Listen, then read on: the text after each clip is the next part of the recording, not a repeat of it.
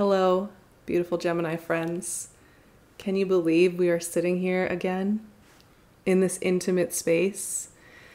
Just storytelling, connecting, taking a moment to prepare for September. I got called back here to really sit and just take a moment to be with each sign and explore together. And I don't know where this journey is going to keep taking me. That's part of the mystery of it all, but I'm really happy to be sitting here with you today. Uh, September is a really powerful month for you all, Gemini. It's Virgo season, and the equinox leads us right into the Libran energy.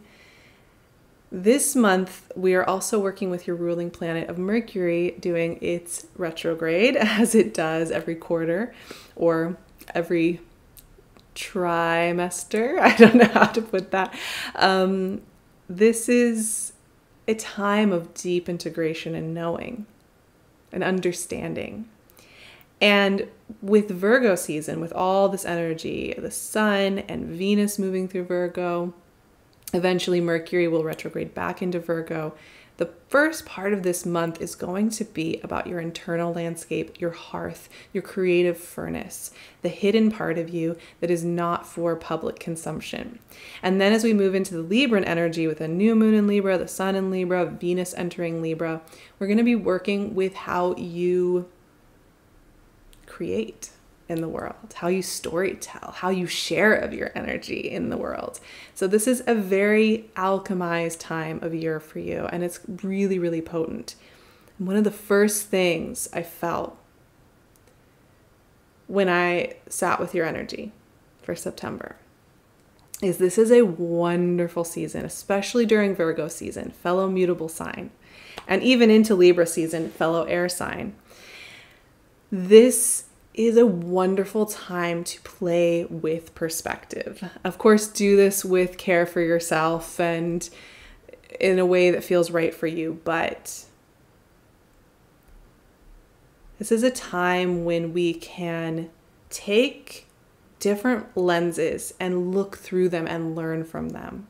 This is a wonderful time if you have old wounding from family dynamics, from old stories you have told yourself to survive in past seasons of your life, if you have had a mean or highly critical voice kind of writing you, trying to get you through the last couple of years, this is a season where you can visit, you can put on the lens, the perspective of whatever that voice or that story is, see it, and then remove the lenses and put in the lens that is able to see this from a compassionate, clear perspective.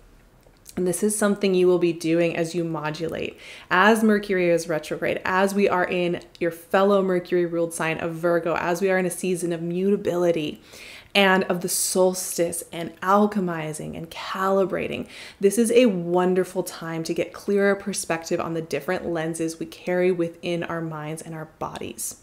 You know, so often the painful lenses are lenses that only have partial, limited information. They are the lens of sometimes our wounded inner child or a stressed out version of ourselves that was just trying to get through. Now, these lenses can come in and act as the whole worldview. And it's important that we understand that part of their horror, part of their terror, part of why they can sometimes feel so big and impactful is because they do have limited information. They can only see so far. They only have two different parameters or something for how the world works. And therefore, they can feel really intimidating and really important. And this is a season, Gemini, where you are going to be able to see oh, this lens only has partial information, it only has part of the story. It doesn't have enough to complete my worldview. It doesn't have enough to tell me what is safe and unsafe. And I can now look at this with compassion and understand when I have put on that lens and when I have taken it off. Now, conversely, I also think, especially as we move into the Libran energy and we start to get to the end of the month and move through the the doorway and the portal that is the solstice um, or the equinox i'm sorry the equinox with its calibrating tendency i think i said solstice earlier too which by the way i mean equinox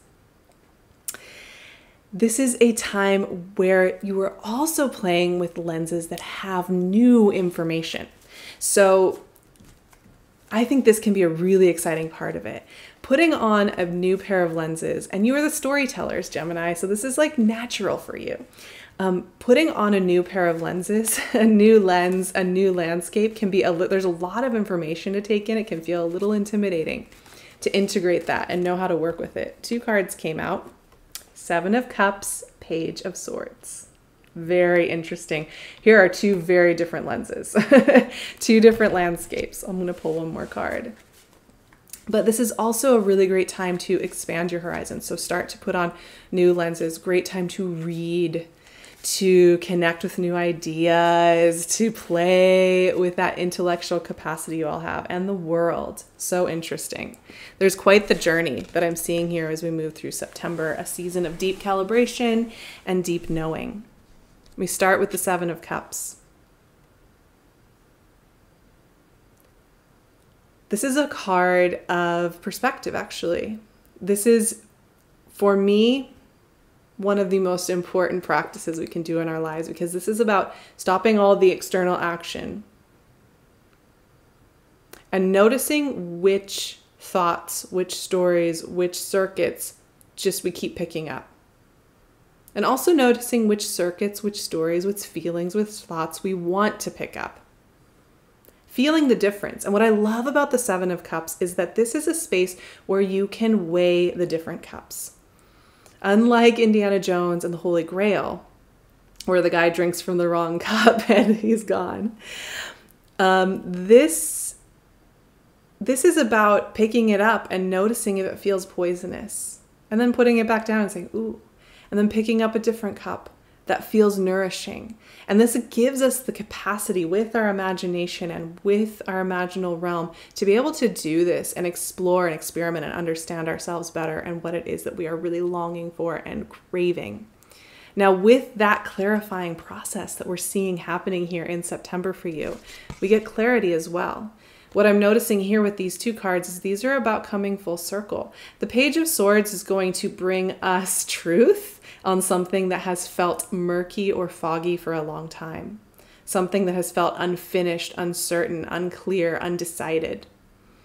Uh, Page of Swords brings in fresh perspective, a fresh opportunity, a new beginning from a place of sudden insight and clarity, which is so exciting when that happens. I think, and that is a result of the ex- exploration and experimentation we do here.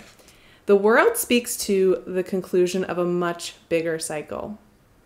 And to be honest, I realize now that as we move into September, Gemini, you are working with a really big transit for the next while, all the way into the new year with Mars in your sign. Mars is going to do a retrograde in your sign this autumn and is going to be with you for months and months. In that journey, you are mastering and completing some important skills and information that is going to help you move forward in your journey. And the world is suggesting this in the conversation. There is an understanding here that you are completing some life lessons and that you are understanding and releasing. And it is a beautiful energy. I'm so excited to see where this takes you. Feels really good to be back. Just taking a moment with you.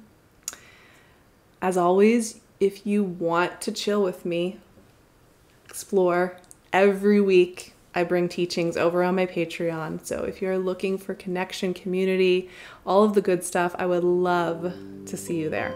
I would love to see you there. You can also find me on my website, on my Instagrams. I'll leave all the links so you know where to connect with me. Have a beautiful September. Have a beautiful equinox. And I will see you here again very, very soon.